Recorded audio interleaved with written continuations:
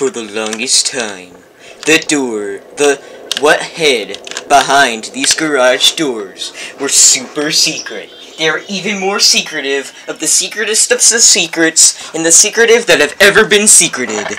But now, that changes now. Because Punny Funny Man is here.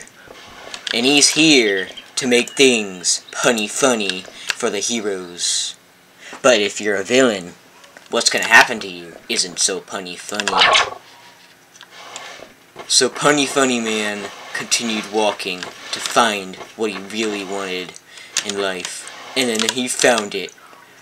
A, a lake full of crap. Hmm, I can see this lake is filled with crap. The lake was filled with absolute crap. There were pieces of poo flying around it. And he was like, hmm, I'd like to take a little dinky in that hanky. And so, he did what he did. And he went into the hanky, and he started rolling around and saying,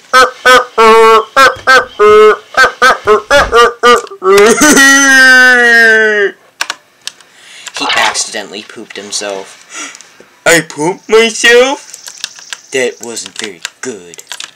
And he knew that he had to get deeper into the sewer to find his destiny.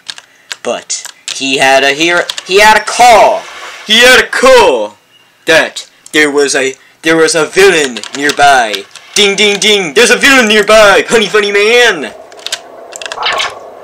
He wants to take your poo away. he wants to take my poo away. It's time for me to be a hero.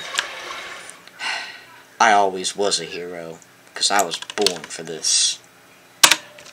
And so we went up in the air, and the Punny Funny theme song played. Punny Funny Man, yeah, yeah. Punny Funny Man, yeah, yeah. He's the biggest superhero in all the land, uh, yeah. Punny Funny Man, yeah, yeah. He has poop coming out his butt, yeah, yeah. You might as well call him Poop Butt Man, cause he's punny funny. But then Punny Funny Man crashed. But he didn't, cause his butt was filled with crap, and his mind was filled with garbage.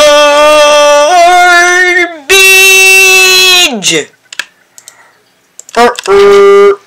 Dun dun.